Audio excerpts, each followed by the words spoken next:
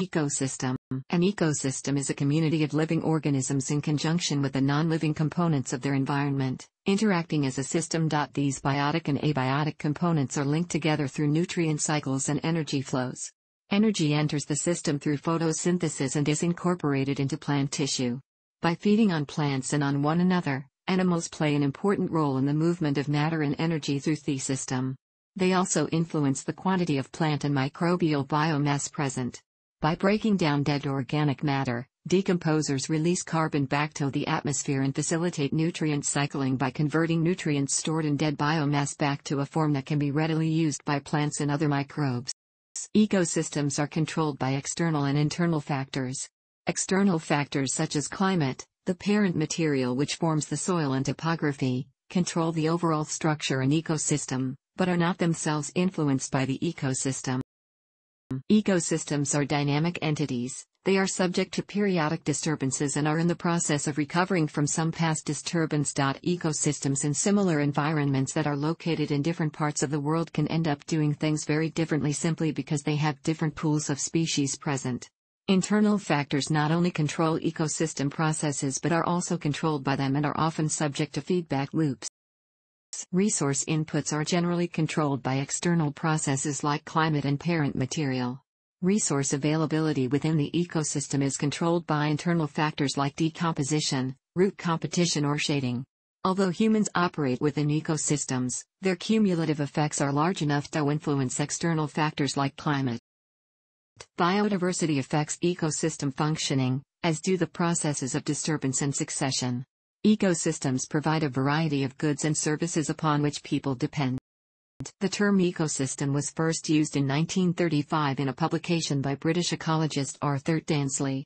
Tansley devised the concept to draw attention to the importance of transfers of materials between organisms and their environment.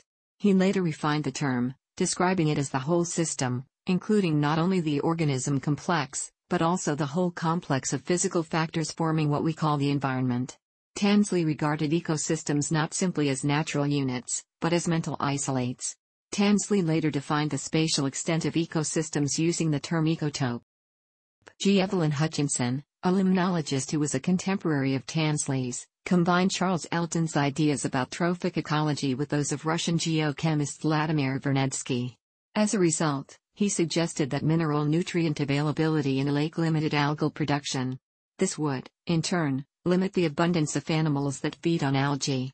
Raymond Lindeman took these ideas further to suggest that the flow of energy through a lake was the primary driver of the ecosystem. Hutchinson's students, brothers Howard T. Odum and Eugene P. Odum, further developed a systems approach to the study of ecosystems. This allowed them to study the flow of energy and material through ecological systems.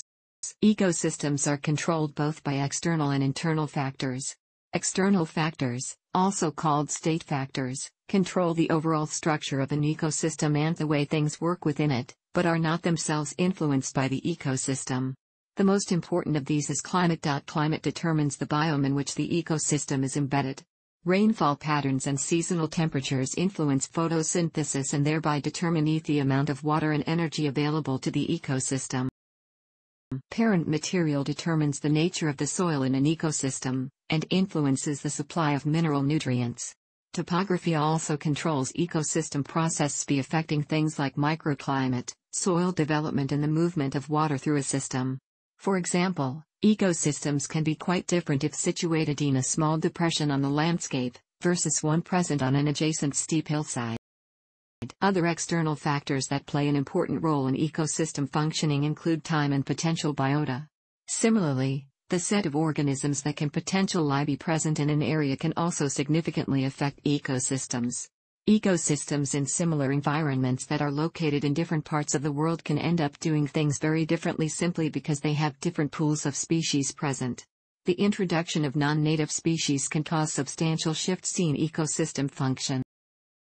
Unlike external factors, internal factors in ecosystems not only control ecosystem processes but are also controlled by them. Consequently, they are often subject to feedback loops. While the resource inputs are generally controlled by external processes like climate and parent material, The availability of these resources within the ecosystem is controlled by internal factors like decomposition, root competition or shading. Other factors like disturbance, succession or the types of species present are also internal factors. Primary production is the production of organic matter from inorganic carbon sources. This mainly occurs through photosynthesis. The energy incorporated through this process supports life on Earth, while the carbon makes up much of the organic matter in living and dead biomass soil carbon and fossil fuels. It also drives the carbon cycle, which influences global climate via the greenhouse effect. Through the process of photosynthesis, plants capture energy from light and use it to combine carbon dioxide and water to produce carbohydrates and oxygen. The photosynthesis carried out by all the plants in an ecosystem is called the gross primary production, GPP. About half of the GPP is consumed in plant respiration. The remainder, that portion of GPP that is not used up by respiration, is known as the net primary production, NPP. Total photosynthesis is limited by a range of environmental factors. These include the amount of light available, the amount of leaf area a plant has to capture light, shading by other plants is a major limitation of photosynthesis, rate at which carbon dioxide can be supplied to the chloroplasts to support photosynthesis, the availability of water, and the availability of suitable temperatures for carrying out photosynthesis. Energy and carbon enter ecosystems through photosynthesis, are incorporated into living tissue, transferred to other organisms that feed on the living and dead plant matter, and eventually released through respiration. The carbon and energy incorporated into plant tissues, net primary production, is either consumed by animals while the plant is alive, or it remains uneaten when the plant tissue dies and becomes detritus. In terrestrial ecosystems, roughly 90% of the net primary production ends up being broken down by decomposers. The remainder is either consumed by animals while still alive and enters the plant-based trophic system, or it is consumed after it has died, and enters the detritus-based trophic system. In aquatic systems, the proportion of plant biomass that gets consumed by herbivores is much higher. In trophic systems, photosynthetic organisms are the primary producers. The organisms that consume their tissues are called primary consumers or secondary producers, herbivores. Organisms which feed on microbes, bacteria and fungi, are termed microbivores. Animals that feed on primary consumers, carnivores, are secondary consumers. Each of these constitutes a trophic level. The sequence of consumption, from plant to herbivore, to carnivore, forms a food chain. Real systems are much more complex than this. Organisms will generally feed on more than one form of food, and may feed at more than one trophic level. Carnivores may capture some prey which are part of a plant-based trophic system and others that are part of a detritus-based trophic system, a bird that feeds both on herbivorous grasshoppers and earthworms, which consume detritus. Real systems, with all these complexities, form food webs rather than food chains. The carbon and nutrients in dead organic matter are broken down by a group of processes known as decomposition. This releases nutrients that can then be reused for plant and microbial production and returns carbon dioxide to the atmosphere, or water, where it can be used for photosynthesis. In the absence of decomposition, the dead organic matter would accumulate in an ecosystem, and nutrients and atmospheric carbon dioxide would be depleted. Approximately 90% of terrestrial net primary production goes directly from plant to decomposer. Decomposition processes can be separated into three categories leaching, fragmentation, and chemical alteration of dead material. As water moves through dead organic matter, it dissolves and carries with it the water soluble components. These are then taken up by organisms in the soil, react with mineral soil, or are transported beyond the confines of the ecosystem, and are considered lost to it. Newly shed leaves and newly dead animals shave high concentrations of water-soluble components and include sugars, amino acids and mineral nutrients. Leaching is more important in wet environments and much less important in dry ones. Fragmentation processes break organic material into smaller pieces, exposing new surfaces for colonization by microbes. Freshly shed leaf litter may be inaccessible due to an outer layer of cuticle or bark, and cell contents are protected by a cell wall. Newly dead animals may be covered by an exoskeleton. Fragmentation processes, which break through these protective layers, accelerate the rate of microbial decomposition. Animals fragment detritus as they hunt for food, as does passage through the gut. Freeze-thaw cycles and cycles of wetting and drying also fragment dead material. The chemical alteration of the dead organic matter is primarily achieved through bacterial and fungal action.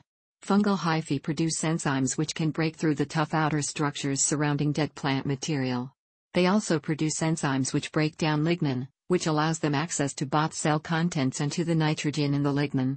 Fungi can transfer carbon and nitrogen through their hyphal networks and thus, unlike bacteria, are not dependent solely on locally available resources. Decomposition rates vary among ecosystems. The rate of decomposition is governed by three sets of factors the physical environment, temperature, moisture, and soil properties, the quantity and quality of the dead material available to decomposers, and the nature of the microbial community itself. Temperature controls the rate of microbial respiration. The higher the temperature, the faster microbial decomposition occurs. It also affects soil moisture, which slows microbial growth and reduces leaching. Freeze-thaw cycles also affect decomposition. Freezing temperatures kill soil microorganisms, which allows leaching to play a more important role in moving nutrients around. This can be especially important as the soil thaws in spring, creating a pulse of nutrients which become available. Decomposition rates are low under very wet or very dry conditions. Decomposition rates are highest in wet, moist conditions with adequate levels of oxygen. Wet soils tend to become deficient in oxygen, this is especially true in wetlands, which slows microbial growth.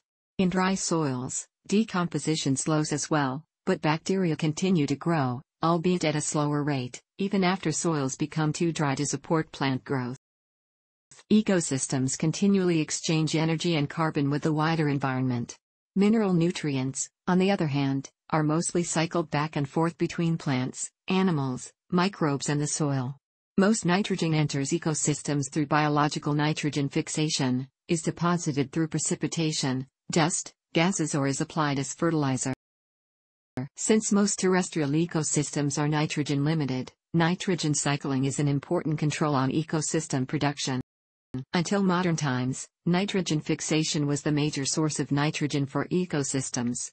Nitrogen fixing bacteria either live symbiotically with plants or live freely in the soil. The energetic cost is high for plants which support nitrogen fixing symbionts, as much as 25% of gross primary production when measured in controlled conditions. Many members of the legume plant family support nitrogen fixing symbionts. Some cyanobacteria are also capable of nitrogen fixation. These are phototrophs, which carry out photosynthesis. Like other nitrogen fixing bacteria, they can either be free living or have symbiotic relationships with plants. Other sources of nitrogen include acid deposition produced through the combustion of fossil fuels, ammonia gas which evaporates from agricultural fields which have had fertilizers applied to them, and dust. Anthropogenic nitrogen inputs account for about 80% of all nitrogen fluxes in ecosystems. When plant tissues are shed or are eaten, the nitrogen in those tissues becomes available to animals and microbes. Microbial decomposition releases nitrogen compounds from dead organic matter in the soil, where plants, fungi, and bacteria compete for it. Some soil bacteria use organic nitrogen containing compounds as a source of carbon, and release ammonium ions into the soil. This process is known as nitrogen mineralization. Others convert ammonium to nitrite and nitrate ions, a process known as nitrification. Nitric oxide and nitrous oxide are also produced during nitrification. Under nitrogen-rich and oxygen-poor conditions, nitrates and nitrites are converted to nitrogen gas, a process known as denitrification. Other important nutrients include phosphorus, sulfur, calcium, potassium, magnesium and manganese. Phosphorus enters ecosystems through weathering. As ecosystems age, this supply diminishes, making phosphorus limitation more common in older landscapes, especially in the tropics. Calcium and sulfur are also produced by weathering, but acid deposition is an important source of sulfur in many ecosystems. Although magnesium and manganese are produced by weathering, exchanges between soil organic matter and living cells account for a significant portion of ecosystem fluxes. Potassium is primarily cycled between living cells and soil organic matter. Biodiversity plays an important role in ecosystem functioning. The reason for this is that ecosystem processes are driven by the number of species in an ecosystem, the exact nature of each individual species, and the relative abundance organisms within these species. Ecosystem processes are broad generalizations that actually take place through the actions of individual organisms. The nature of the organisms, the species, functional groups and trophic levels to which they belong, dictates the sorts of actions these individuals are capable of carrying out and the relative efficiency with which they do so. Ecological theory suggests that in order to coexist, species must have some level of limiting similarity, they must be different from one another in some fundamental way, otherwise one species would competitively exclude the other.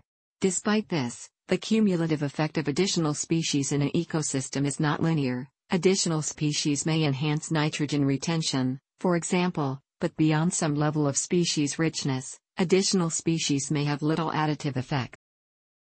The addition, or loss, of species which are ecologically similar to those already present in an ecosystem tends to only have a small effect on ecosystem function. Ecologically distinct species, on the other hand, have a much larger effect. Similarly, dominant species have a large effect on ecosystem function, while rare species tend to have a small effect. Keystone species tend to have an effect on ecosystem function that is disproportionate to their abundance in an ecosystem.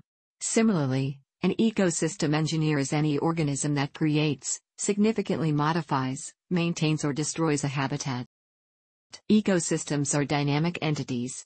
They are subject to periodic disturbances and are in the process of recovering from some past disturbance. When a perturbation occurs, an ecosystem responds by moving away from its initial state. The tendency of an ecosystem to remain close to its equilibrium state, despite that disturbance, is termed its resistance. On the other hand, the speed with which it returns to its initial state after disturbance is called its resilience. Time plays a role in the development of soil from bare rock and the recovery of a community from disturbance. From one year to another, ecosystems experience variation in their biotic and abiotic environments. A drought, an especially cold winter and a pest outbreak all constitute short-term variability in environmental conditions. Animal populations vary from year to year, building up during resource-rich periods and crashing as they overshoot their food supply. These changes play out in changes in net primary production decomposition rates, and other ecosystem processes. Longer term changes also shape ecosystem processes. The forests of eastern North America still show legacies of cultivation which ceased 200 years ago, while methane production in eastern Siberian lakes is controlled by organic matter which accumulated during the Pleistocene. Disturbance also plays an important role in ecological processes. F. Stewart Chapin and co-authors define disturbance as a relatively discrete event in time and space that alters the structure of populations, communities, and ecosystems and causes changes in resources availability or the physical environment. This can range from tree falls and insect outbreaks to hurricanes and wildfires to volcanic eruptions. Such disturbances can cause large changes in plant, animal and microbe populations, as well soil organic matter content. Disturbance is followed by succession, a directional change in ecosystem structure and functioning resulting from biotically driven changes in resources supply. The frequency and severity of disturbance determine the way it affects ecosystem function. A major disturbance like a volcanic eruption or glacial advance and retreat leave behind soils that lack plants, animals or organic matter. Ecosystems that experience such disturbances undergo primary succession. A less severe disturbance like forest fires, hurricanes or cultivation result in secondary succession and a faster recovery. More severe disturbance and more frequent disturbance result in longer recovery times. Ecosystem ecology studies the processes and dynamics of ecosystems, and the way the flow of matter and energy through them structures natural systems. The study of ecosystems can cover 10 orders of magnitude, from the surface layers of rocks to the surface of the planet. There is no single definition of what constitutes an ecosystem. German ecologist Ernst-Detlef Schulze and co-authors defined an ecosystem as an area which is uniform regarding the biological turnover, and contains all the fluxes above and below the ground area under consideration. They explicitly reject Gene Likens' use of entire river catchments as too wide a demarcation to be a single ecosystem, given the level of heterogeneity within such an area. Other authors have suggested that an ecosystem can encompass a much larger area, even the whole planet. Schulze and co-authors also rejected the idea that a single rotting log could be studied as an ecosystem because the size of the flows between the log and its surroundings are too large, relative to the proportion cycles within the log. Philosopher of science Mark Sagoff considers the failure to define the kind of objective studies to be an obstacle to the development of theory in ecosystem ecology. Ecosystems can be studied through a variety of approaches, Theoretical studies, studies monitoring specific ecosystems over long periods of time, those that look at differences between ecosystems to elucidate how they work and direct manipulative experimentation. Studies can be carried out at a variety of scales, ranging from whole ecosystem studies to studying or mesocosms, simplified representations of ecosystems. American ecologist Stephen R. Carpenter has argued that microcosm experiments can be irrelevant and diversionary if they are not carried out in conjunction with field studies done at the ecosystem scale. Microcosm experiments often fail to accurately predict ecosystem level dynamics. The Hubbard Brook Ecosystem Study started in 1963 to study the White Mountains in New Hampshire. It was the first successful attempt to study an entire watershed as an ecosystem. The study used stream chemistry as a means of monitoring ecosystem properties, and developed a detailed biogeochemical mode law of the ecosystem. Long-term research at the site led to the discovery of acid rain in North America in 1972. Researchers documented the depletion of soil cations especially calcium, over the next several decades. Human activities are important in almost all ecosystems. Although humans exist and operate within ecosystems, their cumulative effects are large enough to influence external factors like climate. Ecosystems provide a variety of goods and services upon which people depend.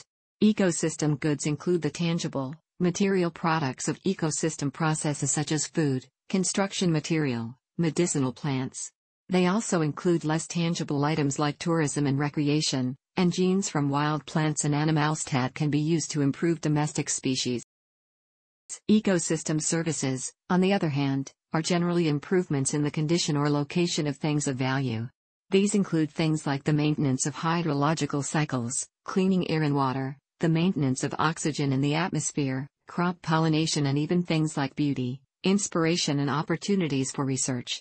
While ecosystem goods have traditionally been recognized as being the basis for things of economic value, ecosystem services tend to be taken for granted. When natural resource management is applied to whole ecosystems, rather than single species, it is termed ecosystem management. Although definitions of ecosystem management abound, there is a common set of principles which underlie these definitions. A fundamental principle is the long term sustainability of the production of goods and services by the ecosystem. Intergenerational sustainability is a precondition for management, not an afterthought.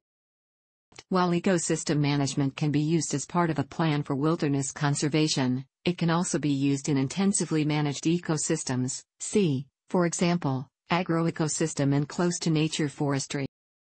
As human population and per capita consumption grow, so do the resource demands imposed on ecosystems and the effects of the human ecological footprint. Natural resources are vulnerable and limited.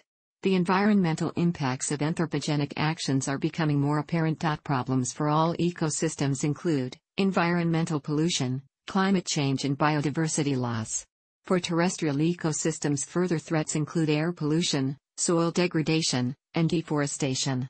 For aquatic ecosystems, threats include also unsustainable exploitation of marine resources, for example, overfishing off certain species, marine pollution, microplastics pollution, water pollution, and building on coastal areas.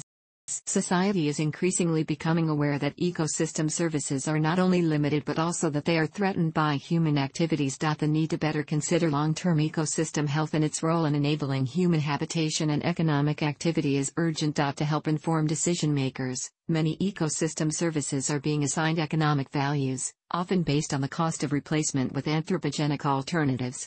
The ongoing challenge of prescribing economic value to nature, for example through biodiversity banking, is prompting transdisciplinary shifts in how we recognize and manage the environment, social responsibility, business opportunities, and our future as a species. Thanks for watching. Don't forget like the video and don't forget to subscribe.